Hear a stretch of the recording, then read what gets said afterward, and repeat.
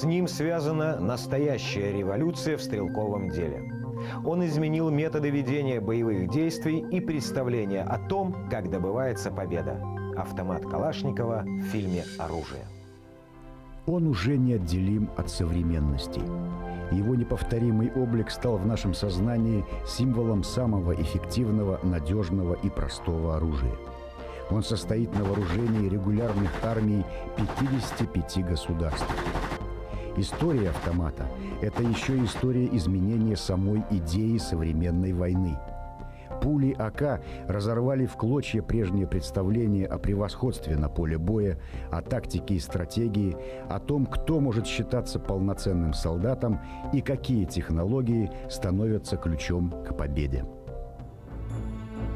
Идея создания промежуточного оружия, которое бы заняло место между пистолетом-пулеметом и автоматической винтовкой, появилась в Германии в начале Второй мировой войны. Пистолеты-пулеметы МП-40, к тому времени принятые на вооружение вермахта, получали хорошие отзывы. Их ценили за легкость, компактность, удобство пользования, эффективность в ближнем бою. Пистолет-пулемет МП-40 конструкции Хана Фольмера в Советском Союзе было принято называть «Шмайсером», хотя к созданию этой модели Гуга Шмайсер не имел никакого отношения. Пистолет-пулемет Фольмера имела серьезные недостатки, главным из которых была небольшая дальность прицельного огня. На расстоянии свыше 200 метров поразить цель из МП было практически невозможно. Причиной тому являлось использование маломощного пистолетного патрона «Парабеллум». Особенную остроту проблема увеличения дальности эффективной стрельбы из автоматического оружия приобрела после нападения Германии на Советский Союз. По мере того, как на Восточном фронте вермахт выпускал из своих рук стратегическую инициативу, германская пехота все больше нуждалась в мощном автоматическом оружии. Практика создания самозарядок показала, что стандартный винтовочный патрон обладает излишней для такого вида оружия мощностью. Следствием этого являются большой импульс отдачи, резко снижающий точность стрельбы, сложность конструкции и большой вес. В этой ситуации германские оружейники ускорили работы над созданием автоматической винтовки под патрон пониженной мощности. Почему это оружие родилось? Ну, по той простой причине, что во время Второй мировой войны стрельба обычно э, по пехоте не велась на очень большие расстояния и не нужны были патроны большой мощности. А на дистанциях э, до э, 500 э, метров вполне, в общем-то, хватало патрона э, уменьшенной мощности. Да и, разработать автоматику, э, которая работала бы безотказно в оружии, как раз было легче под патрон уменьшенной мощности. Такой патрон нормального винтовочного калибра 7,92 мм был создан еще до начала войны в 1938 году. Он был разработан в инициативном порядке немецкой фирмой «Полте». Для работы автоматики своей модели, которую назвали «Машинен-карабинер-42», Гуга Шмайсер избрал принцип отвода пороховых газов. Их энергия обеспечивала перезаряжание карабина.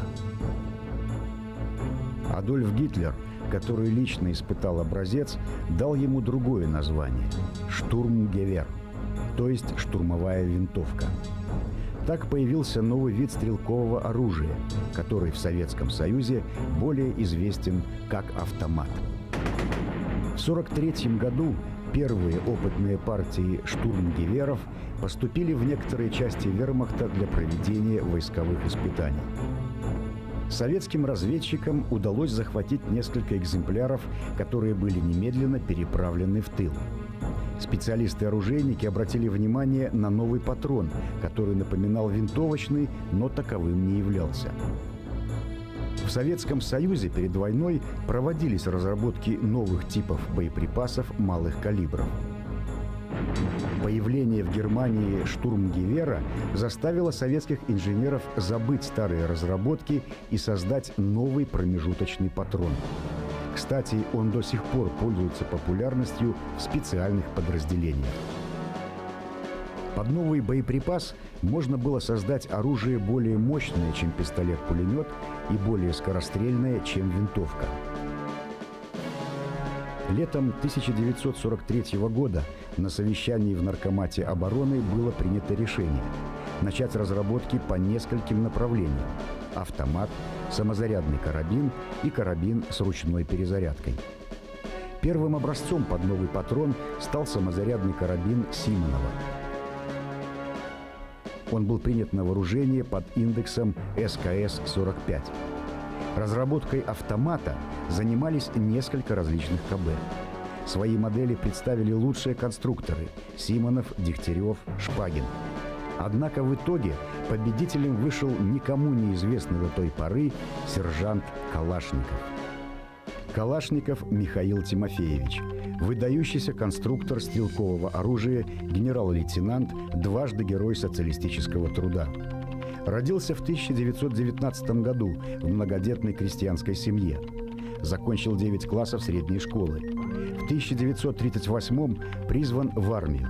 Служил в бронетанковых войсках. Великую Отечественную войну начал командиром танка. В октябре 1941 года под Брянском был тяжело ранен. После выздоровления сержант Калашников служил на Центральном научно-исследовательском полигоне стрелкового вооружения. В 1945 году Калашникова направили на стажировку на Ковровский механический завод. За год совместно с группой заводских инженеров молодой конструктор смог создать первый работоспособный образец своего автомата – АК-1.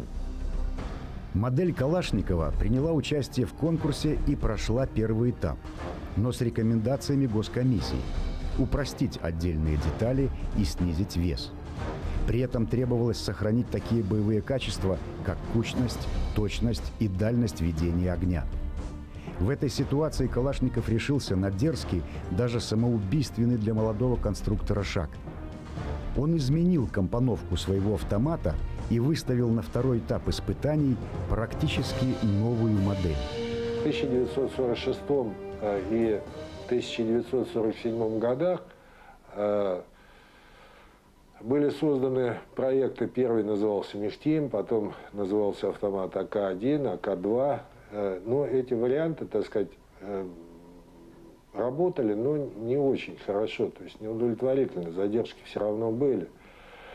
И вот только уже э, после весной 1947 года, после того, как был полностью перекомпонован этот автомат, и Э, так сказать, несколько иные были приняты конструктивные решения. Э, Калашникову, э, благодаря помощи инженеров второго Ковровского завода Александра Зайцева, удалось создать вот образец, который, кстати, получил название АК-47 и в дальнейшем испытывался как АК-47. Перед началом второго этапа конкурса Калашникова посетил прославленный оружейник Василий Дегтярев. Осмотрев образец молодого изобретателя, он произнес буквально следующее. «Мне представляется, посылать наши автоматы на испытания нет смысла. Конструкция образца сержанта совершеннее наших и гораздо перспективнее». Но конкурс продолжался. Его требования становились все жестче, а условия испытаний усложнялись.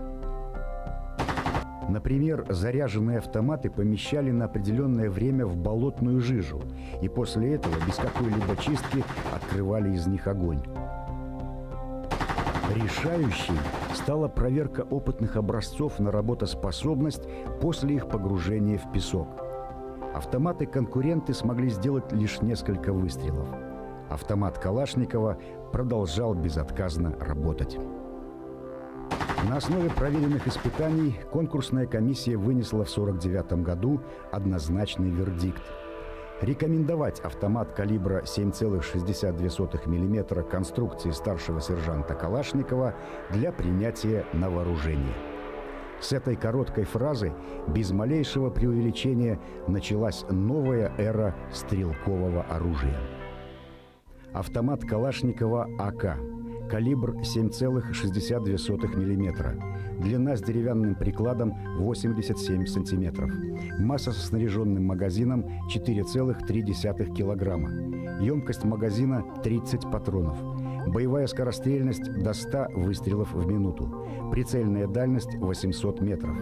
Дальность убойного действия пули – 1500 метров. Образец Калашникова, меньший по размерам и более удобный при стрельбе, чем Симоновский карабин, позволил советской армии получить оружие, которое удовлетворяло ее потребностям и выполняло функции автоматической винтовки и ручного пулемета – без него практически не обходится ни один военный конфликт. На сегодняшний день самое распространенное оружие мира. Практически очень надежный автомат. В отличие от э, американских винтовок, которые очень капризны к эксплуатации, автомат, попадая в песок, в пыль, грязь, продолжает стрельбу. АКС с откидным металлическим прикладом предназначался для воздушно-десантных и других специальных войск – АК с деревянным прикладом для мотострелков. Стоит отметить, что в просторечии и в документах прижилось обозначение АК с цифровым индексом АК-47. До венгерских событий 1956 года автоматы Калашникова были совершенно секретным оружием. Советские солдаты носили АК в специальных чехлах, скрадывающих очертания автомата. Стрелянные гильзы тщательно собирались, чтобы сохранить в тайне конструкцию нового патрона –